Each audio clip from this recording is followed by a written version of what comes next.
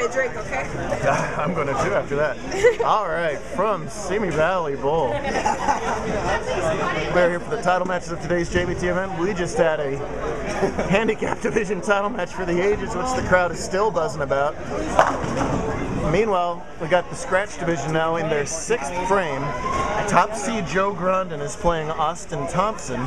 These guys are bowling in the endless 10th format, meaning if either of them strike on their final ball, they get to continue going as long as they continue striking. So no matter how much you lose by, as long as you strike on that last shot, you still have a chance to win the match. And despite a day of extraordinarily high scoring, we have a relatively low scoring title match here so far. Grondin doesn't yet have a JBT title. His only other title match didn't go so well.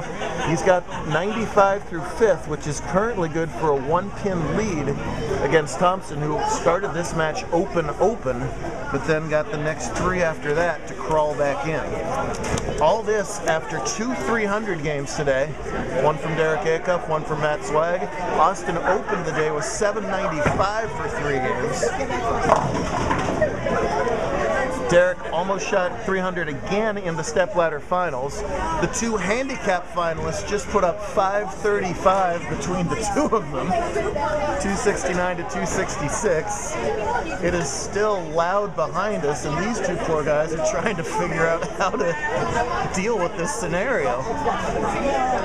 Austin will trail by two if he spares this 2-4 which he does.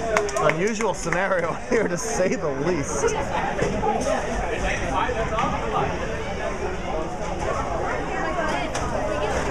All right, I got to take a breath after what is probably the best handicap title match you ever had. These endless 10 things can turn quickly, though. Austin has four JBT titles to his credit, did most of his damage in a furious run at the end of his handicap uh, career, winning his first title and then the Invitational and then the TPC. Has won a scratch title as well since. Nice shot there for 10 in the pit. Not to be lost in the shuffle, this young lady won her first career women's title today.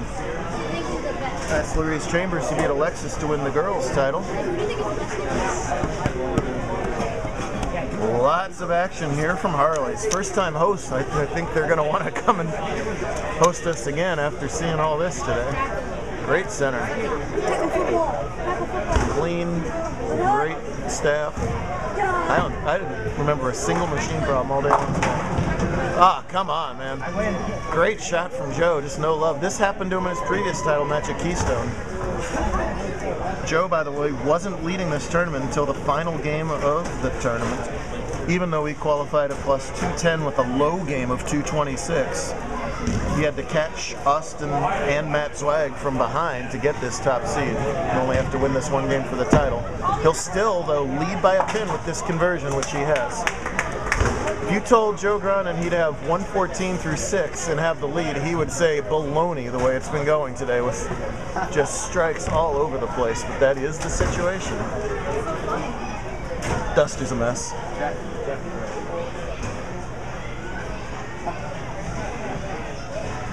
Joe taking a little extra time is finally things starting to settle down here a little bit.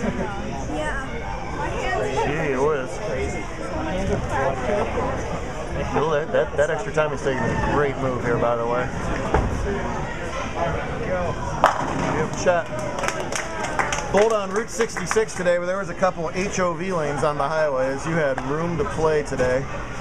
This is a uh, house that's naturally high scoring with a lot of friction to the right. So by adding a pattern that had a lot of oil in the middle, all we essentially did was create a mountain of hold where there was already a mountain of hook equals astronomical scores, plus 70 cut and handicap, 23 up in scratch, and a chance to take the lead for Thompson right here. No, Didn't see too many flat tens today. Those kickbacks seemed pretty juicy. Kicked out a lot of otherwise flat hits and messengers all over the place. It'll still be a one-pin game. The best thing for endless tens is if they can match the count.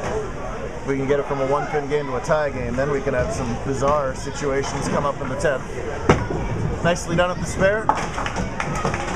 So he lets that 10 pin know who's boss. We'll clear that dead one and be back for part two of the scratch match coming up.